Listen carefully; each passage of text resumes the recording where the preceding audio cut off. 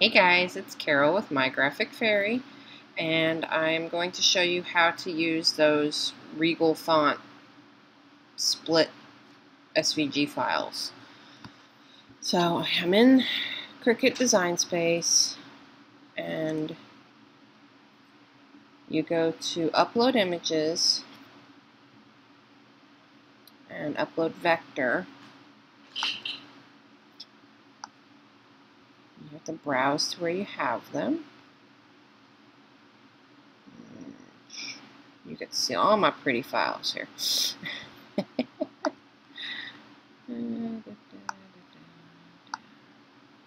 okay, we're going to upload the C for my name.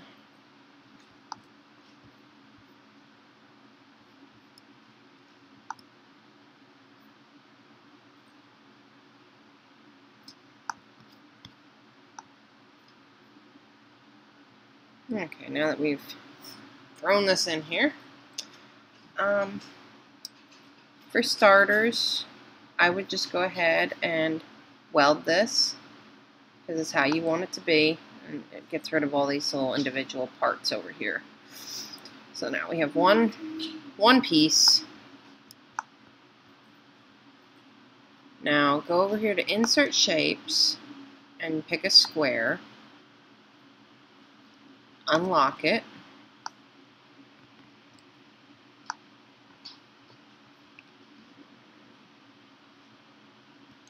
Stretch it out however way you want your bars to look inside the letter. Just place one there.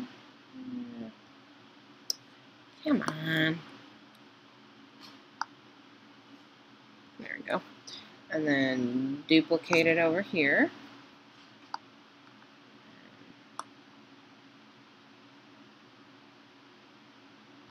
Place there. And then choose select all and center horizontally. That one is not touched. There we go while you have it all selected, again choose weld.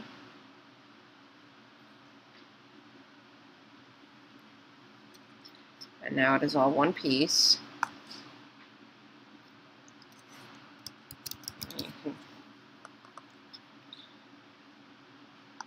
add text.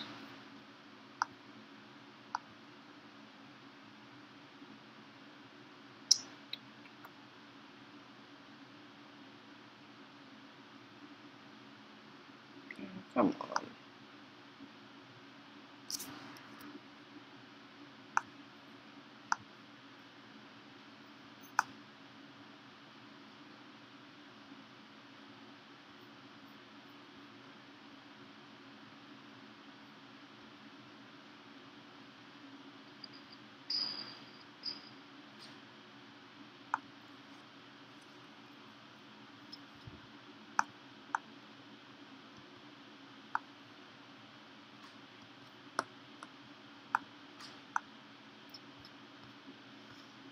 There,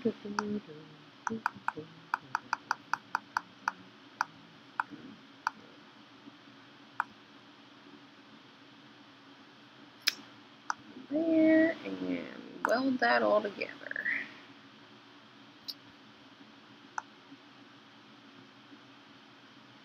And I could just leave it like that if I wanted, or I could, and that way I would kind of layer over. So that is how I would suggest using the split fonts. It's the easiest way. Just simple as inserting shapes that are already given to you. Hope that helps. Make sure you subscribe if you haven't yet. Thanks.